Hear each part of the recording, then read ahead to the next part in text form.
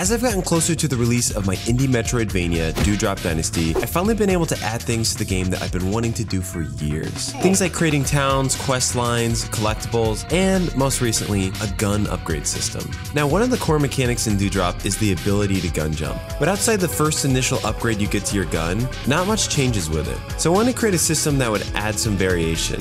Things like increasing its damage, range, or even speed, adding more recoil to your gun so you jump higher, or even bullets that just can catch enemies on fire. And the way this has been approached in recent years with games like Hollow Knight has been by using Paper Mario's badge system. Basically, you can equip these little badges or charms to change the way that the game plays and feels. I personally really enjoy these systems because it allows the player to get clever and come up with some cheese setups to absolutely destroy tough bosses. The only downside is that a lot of modern Metroidvanias are doing this right now, so I wanted to create a system that stood out from the rest. And my mind immediately gravitated towards Mega Man Battle Network's nav customizer system. Essentially, you could equip these badges to your character, but instead of just using points, they actually take up space on a grid. And each chip, as they're called in Mega Man, has a different shape and size, with more powerful chips being harder to place. So basically, it's almost like a puzzle. You have to Tetris pieces together to come up with a cool setup. And this is the idea I came up with a couple years ago when I was working on the Kickstarter for the game. Unfortunately, I had to put it on the shelf as I wanted to prioritize the content of the game first. But recently, as I've been playtesting the game, I noticed how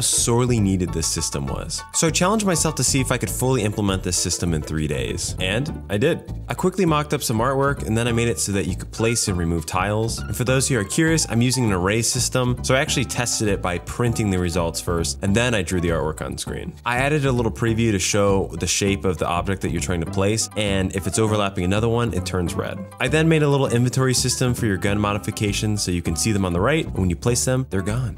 Wow. I quickly realized too that you should be able to readjust and move them, so I added that in as well. So you essentially can rearrange these to your heart's content. Finally, I added custom artwork for all the different mods. I then redesigned the inventory system so it was more of a grid, and that allowed space for me to add descriptions and to show if something was equipped or not when you hover over it. Now, this is cool and all, but it doesn't really matter if it doesn't affect the player's gun. So that's what I focused on next. I added recoil boost, bigger bullets, faster bullets, silly bullets like flame bullets where you can burn enemies, and I even made a duck bullet modification where every time you shoot, it's just a duck quacking. You're welcome. All in all, the system was incredibly easy to implement, and I'm kind of kicking myself for not adding it sooner. But here's where I need your help. If any of you have some cool, creative, or wacky gun modification ideas, please let me know in the comments down below, because there's definitely room to add a lot more, and I think it's going to add a lot of fun strategy and variation to the game. Now, there's two things I want to go back and improve upon later on, and that's being able to upgrade your grid. I kind of like the idea of your grid being really small or maybe a strange shape, and if you bring money or special items to a gunsmith NPC, he'll make your grid larger, allowing you to equip more mods. And finally, the only other minor thing I would like to add to this is the ability to rotate tiles, because I think they'll allow for more customization and creativity with builds. Now, working on a gun mod system isn't the only thing I've done. Like I said, it actually only ended up taking me three days, which was awesome. Where a lot of my time has gone into recently is creating NPCs and new types of interactions. I create a shopkeeper system where you can talk to an NPC, and when you buy all their stuff, they say, hey, we're sold out. I also added reactions, so if you do something to an NPC or in the world around it, it can react to it. Um, this is the most gruesome example of that. I'm, I'm sorry, Vasely. And also the ability to give money and items to an NPC, like this flower, for example, who's who needs your money. He needs it to feel better. Wait, what?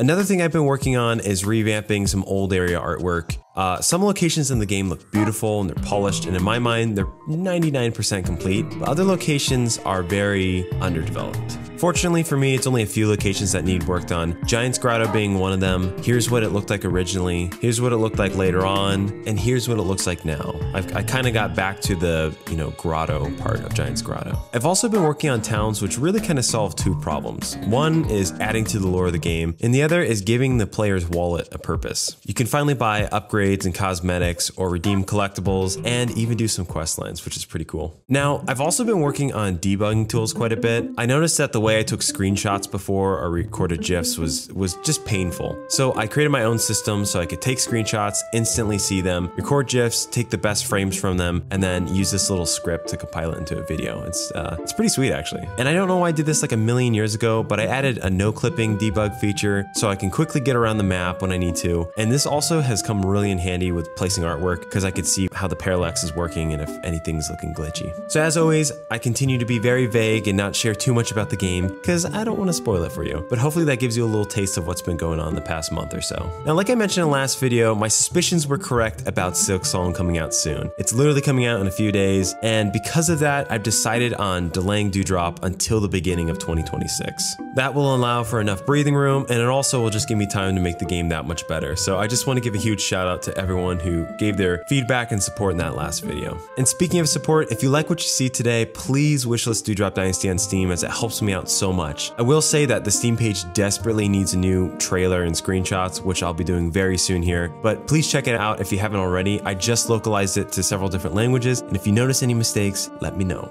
And if you want to make games for yourself or you want to learn how to program, then check out a word from today's sponsor, Brilliant.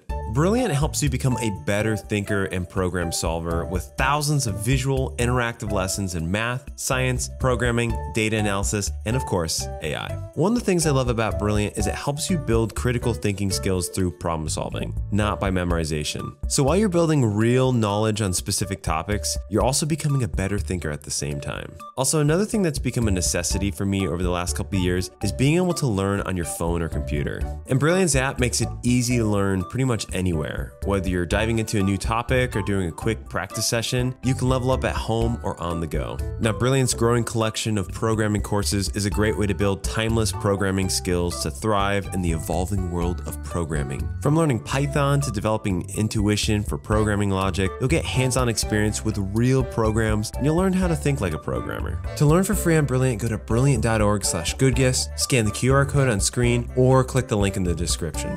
Make sure to use my code to get 20% off an annual premium subscription, which gives you unlimited daily access to everything Brilliant has to offer. So go check it out. If you like this video, check out another one that YouTube thinks that you might like. This, this one's great.